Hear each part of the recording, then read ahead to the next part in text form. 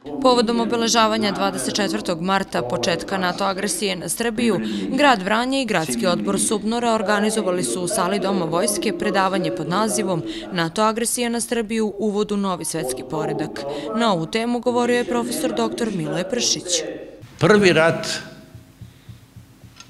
Srbije je bila tada nedovoljno naoružana, Vojna akademija, ono što je školovano u u vojci imala tek neki 176 starešina, došao je Černjajev sa svojim ljudima, ali nisu, dakle, ta snaga nedovoljno vojske regrutnog potencijala, negnutno, nedovoljno brojna vojnika, prvi rat je, dakle, vodi se tu oko Đunisa, oko Kruševca, Aleksnica, Požarevca, odnosno Niša i tako dalje, je izgubljen na zahtjev Rusije prekinut je s tim da se vraća stanje na status quo i da Turci neće preduzimati nikakve represije.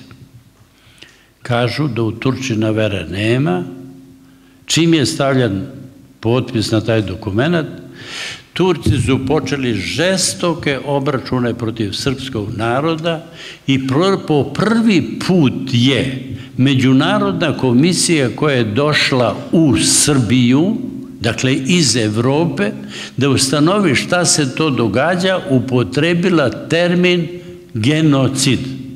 Dakle, izveštaj je da su turske jedinice, Redif i drugi, dakle, napravili straumalan genocid na području Aleksica, Đunisa, Kruševca, na tim, dakle, ogromne broj ljudi ubijenih, čerečenih, nabijenih na kolac i tako dalje.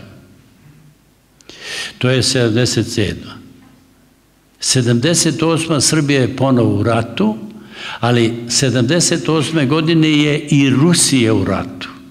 Na poziv Rusije, ajde da vam kažem, na poziv Rusije, ovaj bitan je začkoljica ova da znate, pogotovo zbog nekih događaja koji će da uslede, Rusija poziva Srbiju da joj pomogne.